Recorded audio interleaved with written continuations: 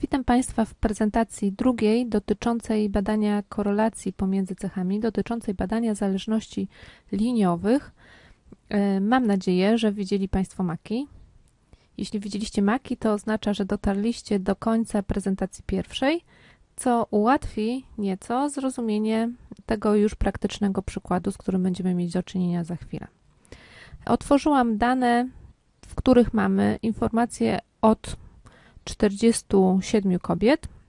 Badano dla nich wartość współczynnika BMI. Współczynnik ten definiuje, można to powiedzieć, stopień otyłości e, czy też otłuszczenia naszego organizmu. Czym wyższa wartość, tym większy ten stopień. Dalej mamy obwód biodra, przez który też w jakiś sposób możemy definiować tą naszą otyłość i wielkość mięśnia trójgłowego ramienia, czyli tricepsu, tego mięśnia ramienia, który znajduje się w tylnej jego części. Będziemy sprawdzać, czy mm, te cechy korelują wzajemnie. Spodziewamy się, że, że tak będzie. Chcemy zobaczyć, czy ta zależność będzie mogła być opisana linią prostą, czy będzie to zależność liniowa. E, udajemy się do statystyki, dalej testy parametryczne i zależność liniowa Pearsona. My będziemy badać występowanie zależności pomiędzy wskaźnikiem BMI a obwodem biodra oraz pomiędzy wskaźnikiem BMI a wielkością naszego umieśnienia, mierzonego tutaj wielkością tricepsu. Możemy od razu zaznaczyć te dwie cechy, co nie oznacza, że to będzie jakaś łączna analiza, ale że będą przeprowadzone dwie oddzielne analizy. Jedna z nich dotyczy mm, wielkości BMI i obwodu biodra, druga natomiast wielkości BMI i wielkości tricepsu. Ja zawsze radzę dołączyć wykres, szczególnie w przypadku, kiedy badamy korelację. Na tym wykresie dopasujemy funkcję liniową, czyli linię prostą do naszych punktów. Będzie to wykres rozrzutu, wykres punktowy. Linię prostą dlatego, że będziemy chcieli sprawdzić właśnie współczynnik korelacji Pearsona, czyli wyznaczyć siłę związku liniowego właśnie, dlatego ten rodzaj zależności e, tutaj zostawimy. OK, potwierdzamy i uruchamiamy analizę przyciskiem OK.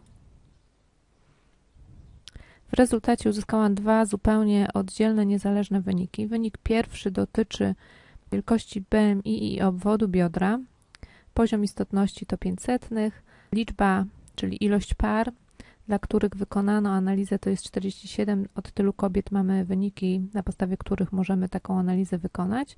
I dalej podsumowanie każdej z tych cech. Najpierw podsumowanie BMI w postaci średniej i odchylenia tego wskaźnika i podobnie dla obwodu biodra i poniżej kolorem szarym wyróżniona ta najważniejsza część analizy. Jeszcze wcześniej jest odchylenie standardowe, czyli zróżnicowanie reszt modelu, ale o tym nieco później. Na razie e, wskaźnik, który mówi nam o sile związku liniowego, czyli współczynnik korelacji liniowej Pearsona, oznaczony tutaj przez R, wynosi on około 0,8, co jest dość dużo. Dalej współczynnik determinacji w związku z tym 0, tutaj w naszym przypadku 63 i przedział ufności dla współczynnika korelacji. Współczynnik korelacji 0,8, a przedział ufności od 0,7 do 0,9, czyli mm, to miejsce, w którym populacyjna wartość tego współczynnika będzie się mieściła.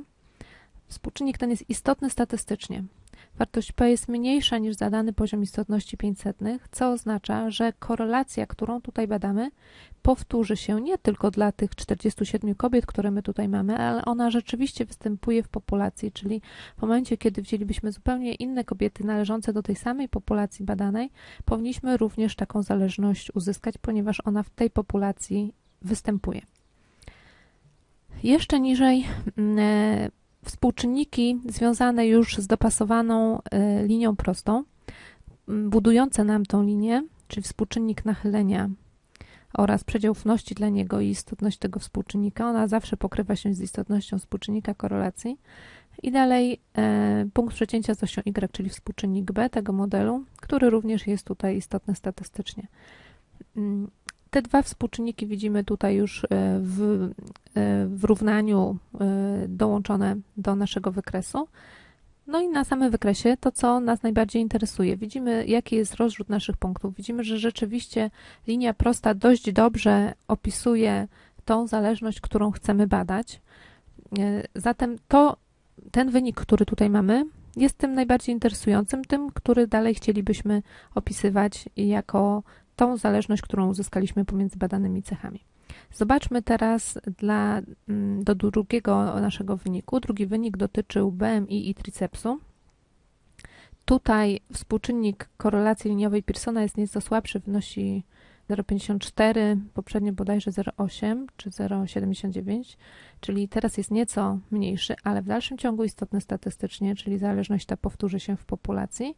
Mamy współczynnik nachylenia i współczynnik przecięcia z osią Y i jeszcze raz dopasowaną funkcję do, dopasowaną linię prostą do naszych danych. Nasze dane, odległość naszych danych od tej linii prostej jest nieco większa niż to było poprzednio. Zobaczmy jeszcze raz na poprzedni wykres. Poprzednio te punkty leżały nieco bliżej linii prostej niż to jest teraz. Mm, w tej chwili moglibyśmy zobaczyć, jak wygląda zróżnicowanie reszt modelu i sprawdzić, czy mm, taki model, tak jak tutaj widzimy, dość dobrze dopasowany, może być wykonywany poprzez właśnie mm, wyznaczanie współczynnika korelacji liniowej Pearsona, czy są spełnione założenia stosowania tego modelu. E, żeby to zrobić, wróćmy do analizy. Wykonamy jeszcze raz tą samą analizę, ale tym razem zaznaczymy zarówno dane, jak i analizę reszt modelu i potwierdzam. I ponownie uzyskaliśmy dwa wyniki. Za każdym razem oprócz tej naszej głównej części analiz z prawej strony zostały zwrócone dane yy, oraz mamy tutaj jeszcze troszeczkę dalej na prawo analizę reszt modelu. Analiza reszt modelu przeprowadzana jest dla każdej badanej osoby oddzielnie czyli dla pierwszej osoby wyznaczana jest reszta. Reszty, przypominam, są to odległości naszych punktów, naszych rzeczywistych danych od dopasowanej linii prostej. Jest wyznaczana ta właśnie odległość, jak też reszta standaryzowana. Reszta standaryzowana wyznaczana jest po to, abyśmy mogli dalej pooglądać e, te reszty wyznaczone tutaj, wskazane punktami, co nieco ułatwi identyfikację punktów odstających, jeśli takie punkty odstające znalazłyby się w naszych danych. Pierwsza osoba ma resztę umiejscowioną w przedziale minus jedno odchylenie standardowe i plus jedno odchylenie. To jest średnia plus minus jedno odchylenie standardowe. W takim przedziale mieści się reszta, czyli ten punkt znajduje się blisko linii prostej. Dalej mamy kolejne przedziały, które znajdują się nieco dalej od linii prostej. Najdalej od tej linii znajduje się przedział oddalony o 3, od ponad 3 odchylenia standardowe i te reszty, które wpadłyby właśnie do tych dwóch tuneli tutaj zaznaczonych tymi trzema odchyleniami standardowymi, byłyby, wskazywałyby na mm, istnienie punktów odstających. Ta osoba, dla której reszta znalazła się właśnie w takim tunelu, e, ona definiuje punkt odstający. Zobaczmy, czy w tych tunelach coś tutaj mamy. No nie mamy tutaj wyników, czyli nie ma punktów odstających w przypadku e, tej naszej analizy. Dalej z lewej strony, na samym dole do naszej głównej części raportu mamy dołączony wynik testu Liljeforsa. Test Liljeforsa bada normalność rozkładu. Przypominam, że założeniem stosowania współczynnika korelacji liniowej Pearsona była normalność rozkładu bądź to samych analizowanych cech, no w naszym przypadku cechy analizowane to jest akurat w tym wydaniu wartość BMI i triceps, czyli można by było sprawdzić normalność rozkładu wartości BMI i wartości tricepsu. Mm, tutaj odsyłam do prezentacji, w której pokazuję, w jaki sposób można badać normalność rozkładu, ale ważniejsza niż normalność rozkładu samych cech jest normalność reszt modelu. I tutaj, w tym właśnie miejscu, badana jest normalność reszt modelu, czyli normalność kolumny e, opisanej jako reszty. Tu jeszcze raz do niej wrócimy. Normalność tej kolumny. Normalność jest badana testem Liljeforsa. Te osoby, które oglądały prezentację dotyczącą badania normalności rozkładu, wiedzą, że takich e, sposobów badania normalności jest nieco więcej niż tylko ten jeden test. Gdybyśmy chcieli to zrobić mm, na więcej sposobów i zbadać tą normalność rozkładu reszt dokładniej, możemy te dane, te reszty przekopiować bezpośrednio tutaj do arkusza danych i dalej stosując moduł badający normalność rozkładu zbadać to dokładniej. Natomiast my widzimy, że w naszym przypadku test Forsa zwrócił wartość P większą niż 500. Wartość P większa niż 500 w przypadku badania normalności rozkładu oznacza, że dane, rozkład, tutaj w naszym przypadku reszty, rozkład normalny mają. Zatem spełnione jest założenie stosowania współczynnika korelacji liniowej Pearsona. Nie mamy punktów odstających, a reszty mają e, rozkład normalny.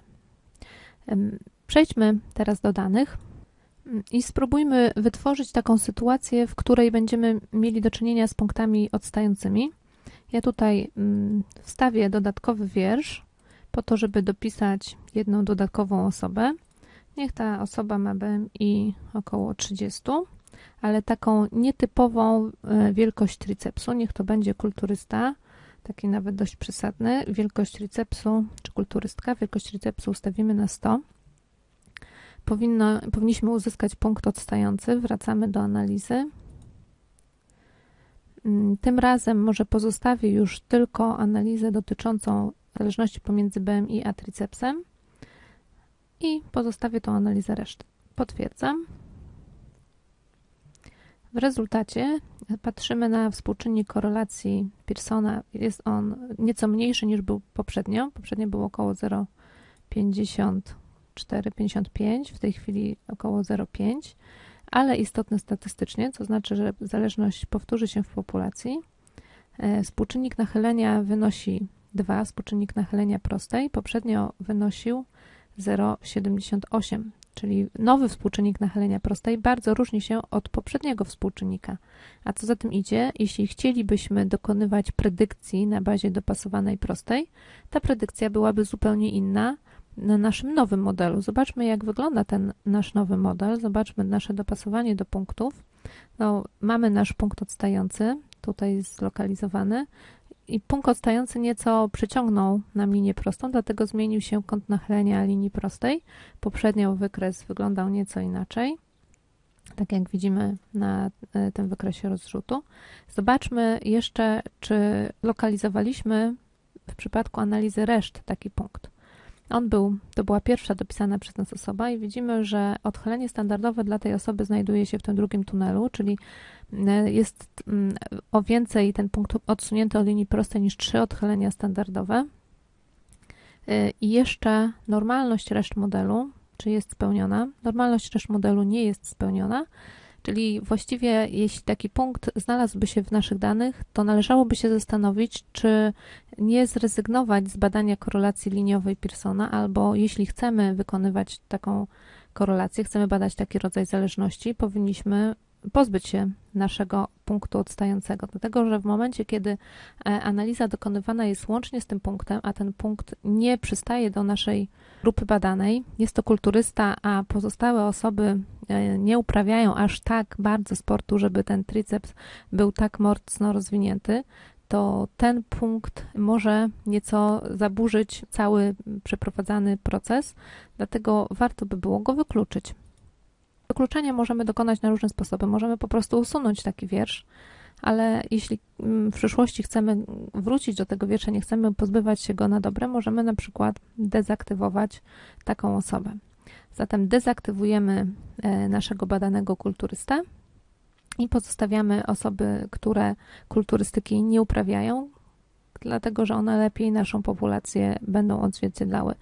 Wracamy do analizy i spróbujemy tym razem predykcji. Uruchamiamy predykcję w tym miejscu. Możemy przewidywać zarówno e, wartości osi Y, jak też wartości osi X. E, osi Y, czyli to, co zaznaczyliśmy na osi Y, e, czyli triceps, i osi X, czyli to, co zaznaczyliśmy na osi X. W naszym przypadku jest to BMI.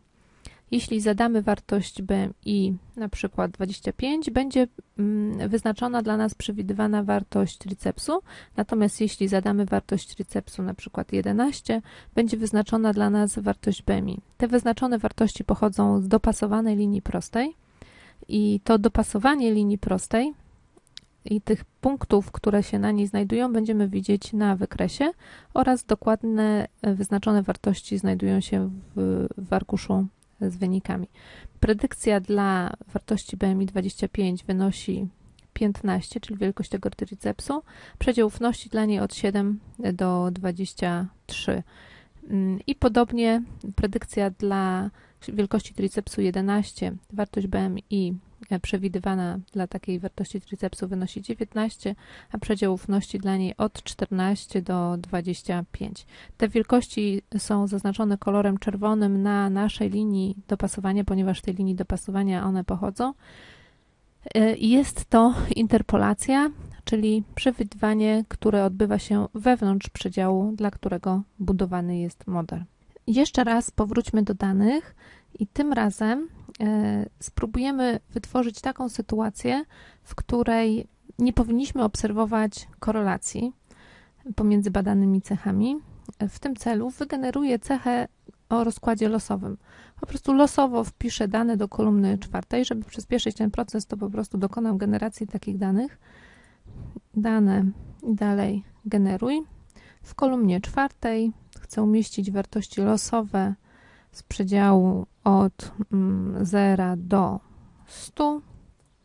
Takich wartości niech będzie, teraz mamy tą jedną dodatkową osobę, to niech będzie ich 48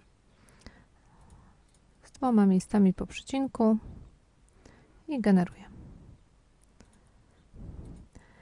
E, umieściłam wygenerowane wartości e, w arkuszu danych. Niech to będzie kolumna o nazwie los, czyli wartości losowe. Nie powinniśmy obserwować zależności pomiędzy zupełnie dowolnymi wartościami a wartością BMI. Wracamy teraz do statystyki i spróbujemy, już może predykcję wyłączymy, e, spróbujemy sprawdzić, czy jest zależność pomiędzy BMI a wartościami losowymi. I OK, potwierdzamy. Współczynnik korelacji jest w naszym przypadku ujemny, ale dość mały, jest nieistotny statystycznie. Nasz wykres wygląda tak, jak widzimy. Nie mamy tutaj spełnionej normalności reszt, chociaż nie ma to dużego znaczenia, ponieważ takiej korelacji liniowej obserwować nie będziemy. Zobaczymy jeszcze, czy są punkty odstające. Punktów odstających nie ma, natomiast e, nasze dane są w takim dość dużym nieładzie i korelacji liniowej nie obserwujemy. Zobaczmy jeszcze, jak wyglądałaby sytuacja, kiedy mm, mielibyśmy nie taki zupełnie dowolny bałagan, ale nasze dane układałyby się wzdłuż jakiejś krzywej, nie wzdłuż linii prostej, ale wzdłuż innej krzywej, czyli chcielibyśmy badać zależność, ale ta zależność nie powinna być opisywana linią prostą, ale pewną inną krzywą. Żeby to szybko przygotować, przejdę do menu dane i tym razem skorzystam z formuł, posłużę się już gotową wartością BMI i funkcją potęgową. Wyznaczę potęgę z wartości BMI z wartości BMI i niech to będzie potęga na przykład siódma. Podniosę po prostu wartość BMI do potęgi siódmej i wynik umieszczę w kolumnie piątej. Mam pytanie, czy zrobić to również dla tego przypadku dezaktywowanego. No to prawda go nie potrzebuję, ale mogę dla niego też mm, to wyliczyć. I to jest funkcja potęgowa o potędze 5. I zobaczymy, czy pomiędzy kolumną piątą, o potędze 7, zobaczymy, czy pomiędzy kolumną e, piątą a kolumną BMI istnieje zależność i czy ta zależność jest liniowa. Wracamy do korelacji i badamy zależność pomiędzy BMI a nowo wygenerowaną kolumną piątą. Potwierdzam. To widzimy, że współczynnik korelacji jest bardzo silny, bardzo wysoki. Zależność jest istotna statystycznie, ale zobaczmy, jak wygląda wykres. No, wykres ewidentnie nie powinien być opisywany linią prostą. Jest to pewnego rodzaju krzywa. My wiemy, że ta krzywa to jest funkcja potęgowa o potędze 7. Że nie powinniśmy dopasowywać linii prostej widzimy już chociażby po analizie reszt związanej z testem Ilieforsa. Obserwowalibyśmy tutaj dość dużą skośność reszt, ponieważ nasze reszty, te takie bardzo odstające, y, mamy pewne serie właściwie reszt. Mamy reszty, które znajdują się ponad dopasowaną linią, dalej poniżej tej dopasowanej i znowu ponad, a w związku z tym, że te reszty występują w takiej pewnej chronologii, nie są jakoś przemieszane, to normalności reszt nie będziemy obserwować. Będziemy obserwować dużą skośność. Gdybyśmy te reszty przekopiowali do arkusza i dokładnie je przeanalizowali, to doskonale byśmy to widzieli. Zobaczmy jeszcze, czy są punkty odstające. O, tutaj mamy właściwie tylko jeden punkt odstający. Jest też jakiś punkt tutaj dość blisko tej granicy. Jeden, również z tej samej strony. Podejrzewam, że są to te dwa punkty, które tutaj nieco wyżej się znajdują. Pozostałe są dość blisko naszej linii, ale tworzą pewną serię, przez co nie mamy normalności reszt modelu i to jest pierwszy taki nasz alarm, który powinien nas kierować w kierunku dopasowania innego kształtu zależności niż zależność liniowa. Nie wyczerpałam całkowicie tematu badania korelacji liniowej Pearsona, ale na początek myślę, że to wystarczy. Zapraszam Państwa w tej chwili do oglądania innych prezentacji związanych z tematyką badania statystycznego.